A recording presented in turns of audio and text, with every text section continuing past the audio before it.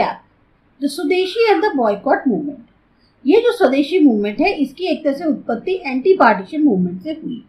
इस मूवमेंट का जो स्टार्ट हुआ था, वो इसलिए हुआ था ताकि अपोज कर सकें ब्रिटिश डिसीज़न को कि वो बंगाल का पार्टीशन ना करे। अब हमारा जो इसमें पहला टॉपिक है, वो है partition of Bengal to divide people British government का जो डिसीज़न था कि हमें बंगाल का पार्टीशन करना है, ये उन्होंने पब्लिकली बताया दिसंबर 1903 में। अब इसके पीछे इनका विचार क्या था कि दो प्रोविंसेस होनी चाहिए। बंगाल जो है डिवाइड कर दिया जाए वेस्ट बंगाल में और ईस्ट बंगाल में। वेस्ट बंगाल के साथ साथ प्रोविंसेस बिहार और उड़ीसा की भी आ जाएँगी और ईस्ट बंगाल में असम का जो है, साथ में ऐड हो जाएगा। वेस्ट बंगाल की कैपिटल उन्होंने कैलकाटा रखी, जबकि ईस्ट बंगाल की कैपिटल ढाका कर दी। अब इसके पीछे जो ऑफिशियल रीजन था पार्टीशन ऑफ़ बंगाल का, जो दिया गया वो ये था कि जो बंगाल है, उसकी पॉपुलेशन 78 मिलियन है। लगभग क्वार्टर हो गई जो पॉपुलेशन ब्रिटिश इंडिया की थी।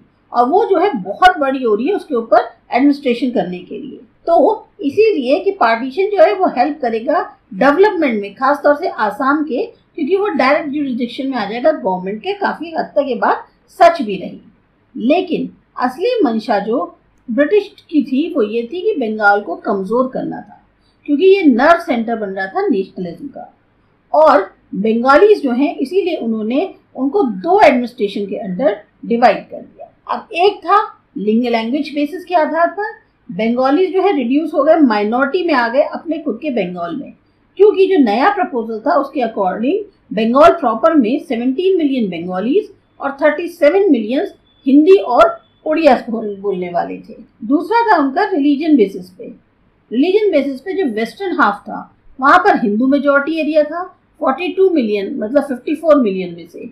और eastern half Muslim majority area थे 18 मिलियन थे 31 मिलियन में से। अब मुस्लिम्स को थोड़ा और ज़्यादा मनाने के लिए पैसिफाई करने के लिए, कर्जन जो कि उस टाइम पे वाइसरॉय थे, उन्होंने ढाका को कैपिटल बना दिया।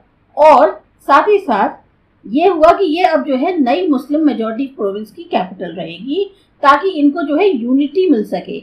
ऐसी यूनिटी जो इन्होंने कभी एक्सपीरियंस नहीं करी, जो ओल्ड डेज़ रहे मुस्लिम वाइसरॉयज और किंग्स के। तो इससे ये बिल्कुल साफ़ बात होगी कि गवर्नमेंट जो है अब अपनी पुरानी पॉलिसी पे थी कि मुस्लिम कम्युनिटीज को जो है उकसाओ कि वो जो है कांग्रेस और नेशनल मूवमेंट के against anti partition campaign under models 1903 से 1905 तक अब ये जो टाइम पीरियड था 1903 से 1905 तक का, इस टाइम पे जो लीडरशिप थी वो थी सुरेंद्र सुरेंद्रनाथ बनर्जिया के के मित्रा और पृथ्वीश चंद्र रेगी जो मेथड इन लोगों के द्वारा अपनाए गए वो थे government to given petition public meetings memoranda propaganda और ये सब इन्होंने किया न्यूज़पेपर्स और पैम्फलेट्स के थ्रू जिसमें जो शामिल थे होते हिताब्दी संजीवनी बंगाली। अब ऑब्जेक्टिव क्या था इनका इस मूवमेंट का?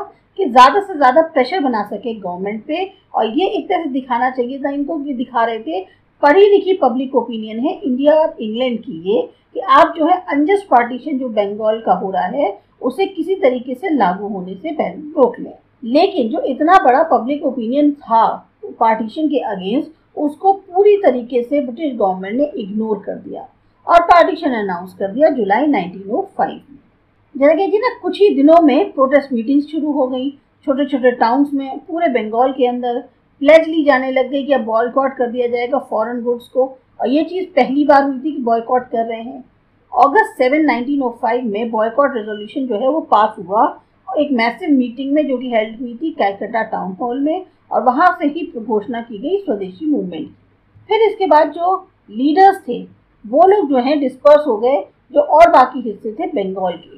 ताकि वहाँ पर ये मैसेज दे सके बॉयकॉट का जो है मैनचेस्टर क्लॉथ और लिवरपूल सॉल्ट इसका दोनों का बॉयकॉट किया जा रहा था। इसका प्रचार प्रसार करने के लिए ये लोग जो और बाकी भी हिस्से में डिस्पर्स हो गए। अक्टूबर 16 1905 को फाइनली वो दिन आ गया जब पार्टीशन हो गया। लेकिन इंडिया के जो लोग थे, उनके लिए ये मॉर्निंग डे था। पूरे बंगाल में जो है एक तरह से मॉर्निंग करी जा रही थी। लोगों ने फास्टिंग करी, गंगा में नहाए, नंगे पैर चल रहे थे, जो जुलूस निकाल रहे थे, उसमें वंदे मातरम गाना जा, जो है, गाते जा रहे थे। यही मेन थीम सॉन्ग था इनके मूवमेंट का। अमार सोनार बांग्ला, ये नेशनल एंथम बना, जो आज का प्रेजेंटेशन प्रेजेंट डे बांग्लादेश है उसका। इसको लिखा था रविन्द्रनाथ टैगोर ने। और पता नहीं कितने सारे लोग जो हैं, वो सड़कों पर मार्च कर रहे थे और ये गाना गाते जा रहे थे। लोगों ने एक दूसरे को राखियाँ बांधी ताकि सिंबल ऑफ़ यूनिटी को दर्शाया जा सके दोनों हाउस के बीच में, जो बंगाल में हुआ था। बाद में सुनेन्द्रनाथ बनर्जी और आनंद मोहन बोस ने जो एक बहुत बड़ी बड़ी गैदरिंग्स को एड्रेस किया और बहुत ही कम समय के अंदर जो है मीटिंग के लगभग पचास हज़ार रुपए जो है वो रेज कर लिए गए मूवमेंट के लिए। फिर इस मूवमेंट को जो है ये और दूसरी कंट्री के हिस्सों में फैलने लग गया। तो पूना और बॉम्बे में तिलक जो है इसको लीड कर रहे थे। पंजाब में लाला लाजपत राय और अजीत सिंह। दिल्ली में सईद हैदर रजा और मद्रास में चिदम्बरम पिल्लई है the Congress position Indian national Congress की जो मीटिंग हुई 1905 में, उस टाइम पे प्रेसिडेंटशिप थी गोपाल कृष्ण गोखले की। और ये जो है मीटिंग हुई रिजॉल्व करने के लिए कि कंडम किया जाएगा पार्टीशन ऑफ़ बंगाल और जो रिएक्शनरी पॉलिसीज़ हैं लॉर्ड कर्जन की, उनको।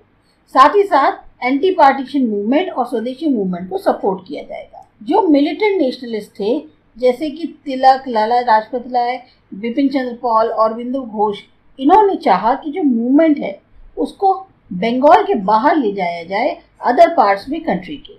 और जो मूवमेंट है बॉयकॉट मूवमेंट ये एक तरीके से सिर्फ़ फॉरेन गुड्स का ना हो, बल्कि पूरा फुल फ्लैश मूवमेंट हो, जिसमें एक तरह से पूरी का पूरा मास स्ट्रगल जो है, वो दिखाई दे, जिसका सबका मकसद हो स्वराज को अटेंड करने का।